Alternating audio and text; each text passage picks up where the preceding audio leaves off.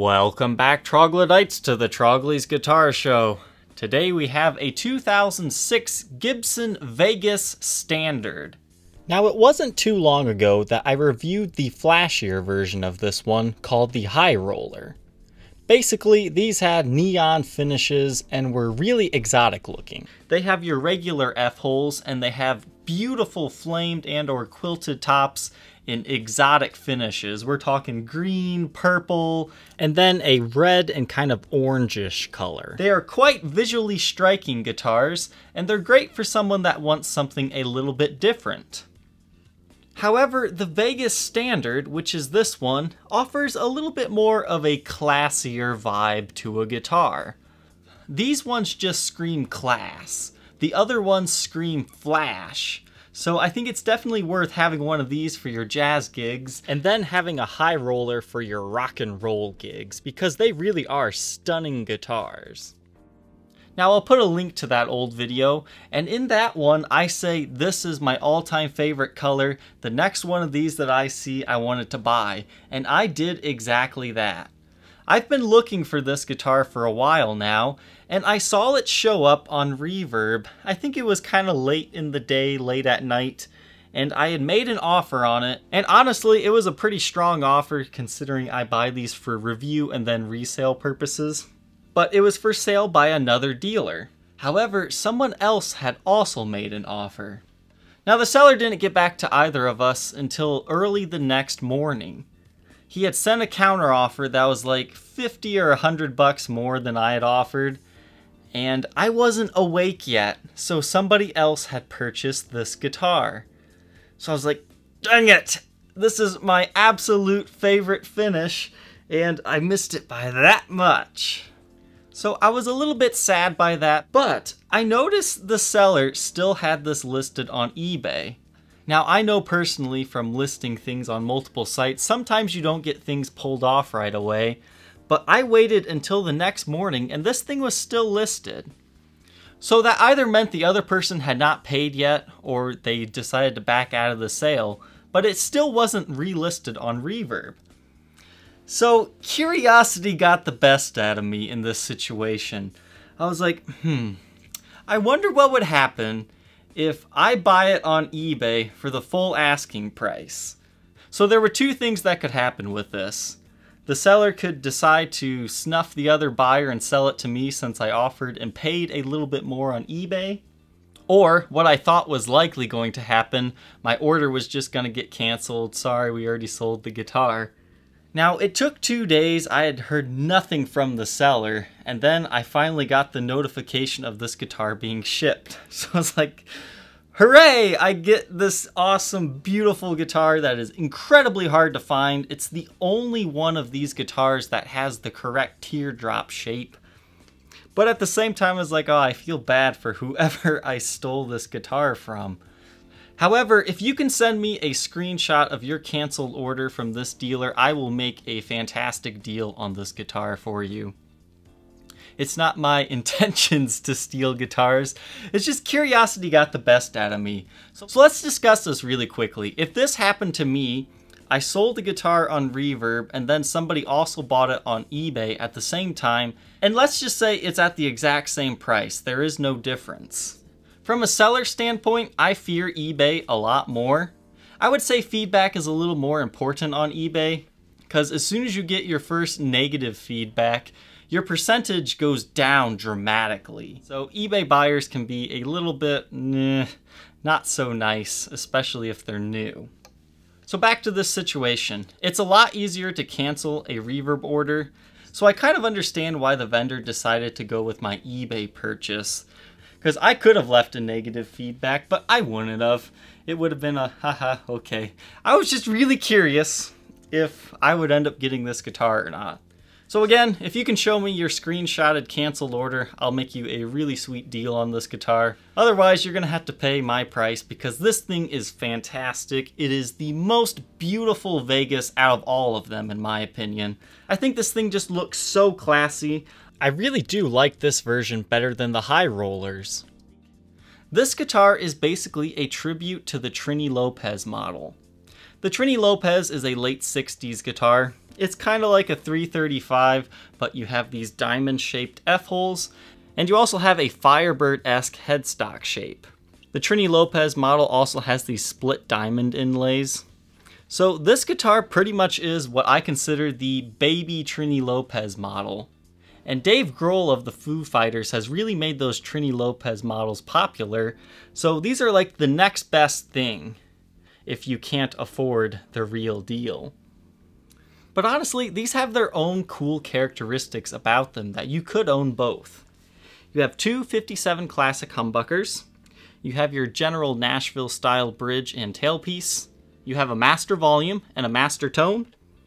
Again, you have your diamond shaped F holes, the Firebird esque headstock with pearl tipped tuners, two piece maple top, mahogany back and neck, with an ebony fretboard, and get this gold frets. Now, both the standard and the high roller version of this guitar have these gold frets. I'm not a huge fan of the gold frets, I just think it makes your frets look rusty, but I think it was kind of cool for Gibson to toy with that. However, I actually ended up buying two of these standard models.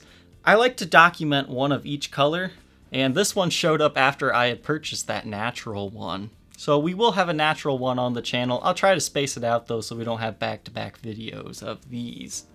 But that natural one did not have gold frets.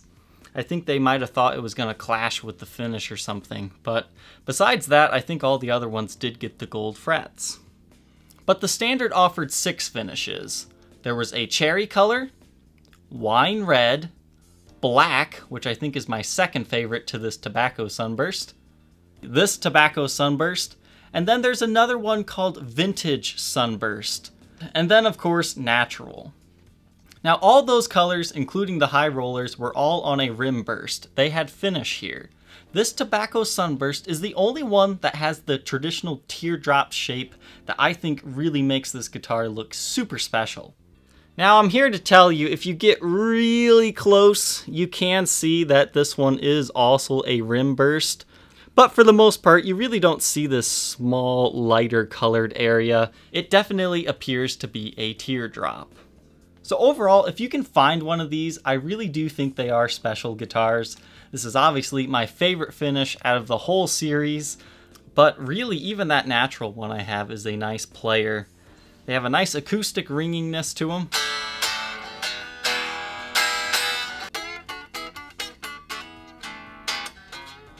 And they just have a very nice simple control layout. Definitely check one of these out if you ever see one. Let's hear how this one sounds.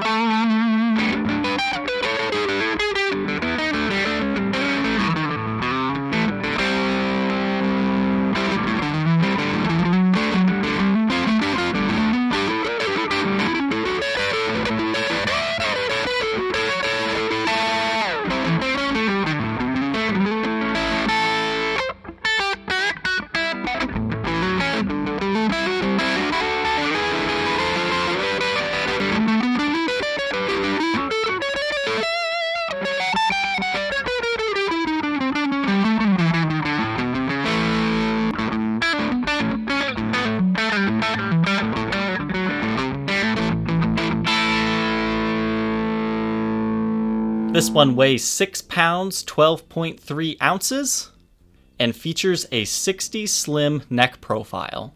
Now that we know how this one sounds, let's take a look at its condition. There are very few people out there that would have any issues with the condition of this guitar.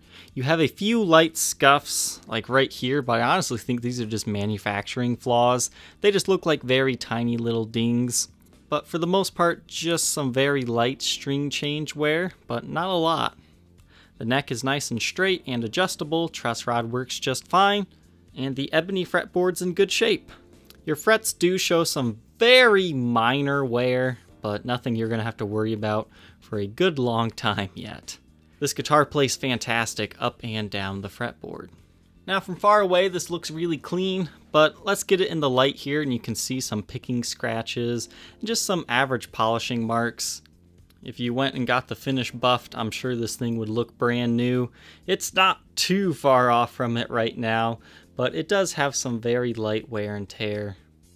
So it's been lightly played, not necessarily collector owned, but definitely still appreciated, so where it's not completely trashed up. And this is exactly what I wanted to find. One of these a nice, clean, original shape, and in my favorite finish that was offered. Back of the headstock, you do have some light impressions right here. I'm guessing there was a clip-on tuner left for a while. I don't know if that really reacted to the finish or not. I didn't try cleaning that, but just kind of plan on that being there. You can also see there's some of that along the sides as well. So you've got a little bit of uh, finish wear or something up here. But besides that and a few minor marks around the headstock, you're in good shape. Serial number is 007660556. No breaks, cracks, or repairs on this one. Really, your neck is in awesome shape as well. You do have binding on this model along the fretboard as well as along the body. And no, this isn't a heel repair. For whatever reason, Gibson does this with some tobacco bursts. They started doing this, I believe, in the late 80s, but it's very prevalent on like 90s customs. This way you know you're looking at a tobacco burst from the back instead of just a pure natural guitar, because you have this dark bit. Now this back is gorgeous. You've got some decent figuring, a little bit of flame in here. It looks to me like a two-piece body. You can kind of see the center seam right here, but you've got some nice light dancing to it. It's nothing overly extravagant, but it's something to definitely be happy that is there. This was one of those selling features for this guitar for me that I thought, well, that's a really nice example. I'm gonna go for it. Your back plates do still have the plastic over them, and right here, this is the only blemish I really see on the guitar. There's a scratch line right there. It's not too bad, but definitely present. But overall, no giant patches of buckle wear. You've got a few small scuffs, a few light scratches, but I don't think anybody would really be ashamed to own this guitar in this condition. I would say it's very close to a collector grade version of this finish. I think it'd be cool to own one of every color. Because this is definitely a model I believe that will continue to appreciate and value, especially now that I've kind of made some of these videos and people who didn't know these things existed now do. Alright, blacklight test. It's hard to believe 2006 was 12 years ago. It glows a little bit, but since it hasn't seen a lot of sunlight, you're not going to see a lot of anything but it is glowing the way I would expect it to be, being from 2006. You also have a very tiny little bit of glow here on the headstock. Back of the guitar is also glowing the way I would expect it to be, but definitely no areas of concern here. You can see that area is original, no breaks, cracks, or repairs to this neck, and no really worn off finish areas either. Everything's looking good. This guitar does come with its original rectangle case, now, I usually hate these rectangle cases because they're so large, but this one, if you watch that other video, it is very comparable in size to a Les Paul case. It's just, well, a rectangle. This one has two traditional latches and a locking combo lock that has not been set yet, a Gibson USA logo with Made in Canada sticker, and you've just got some light scuffs, mainly right there by the logo. For the most part, this case is in good shape. The interior is a very dark gray, kind of charcoal color. And really, there's nothing to note on this case. I do like their style of handle on these. They're very comfortable. And you do have a little compartment here where the owner's manual and the warranty registration card is. If you think you might be interested in owning this 2006 Vegas Standard in the very desirable tobacco sunburst finish, feel free to contact me on my Facebook page, facebook.com slash troglys, T-R-O-G-L-Y-S. Thank you, Troglodytes, for watching. Don't forget to like, comment, and subscribe, and we will see you tomorrow on the next episode. Take care.